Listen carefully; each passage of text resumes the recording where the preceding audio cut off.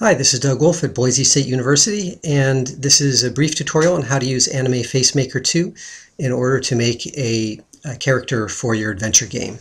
Uh, the link for the uh, game, it's an online game, kind of a game, they call it a game, is on the course website and in the uh, project description as well. So just click the play button, and once you're at the URL, and then uh, this is a pretty self-explanatory thing, so I'm just going to show you a few tips, things that may not be obvious to you or that took me a little while to figure out. Uh, your character in progress is shown in this upper left corner, and under hair, the main kind of hair is found under the fringe category, and one of the things I did not notice at first is that there are seven pages of hair. Uh, some of them female hairstyles, and some of them are more male type hairstyles. So you can go through and find type of hair that you like. Uh, while you are on this hair page, this fringe page, you can set a color for it.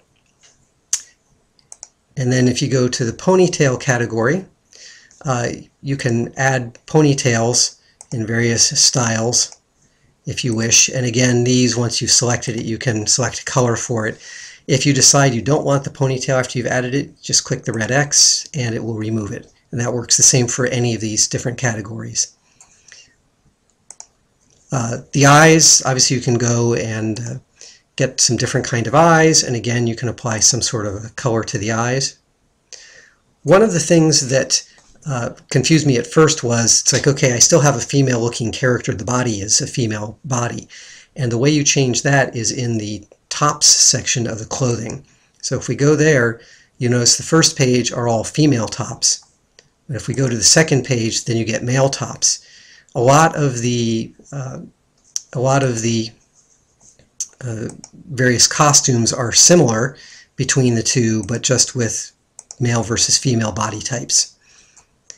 And then finally, you can go through all these other categories and select anything you want. Um, I want some ninja swords to go along with the gi that my character is wearing.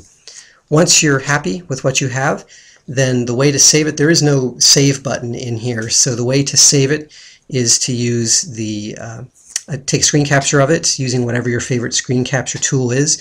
For something like this, I often use the Windows 7 snipping tool. And so just select that. Let me bring this back into where you can see it. And then hit the Save button. And uh,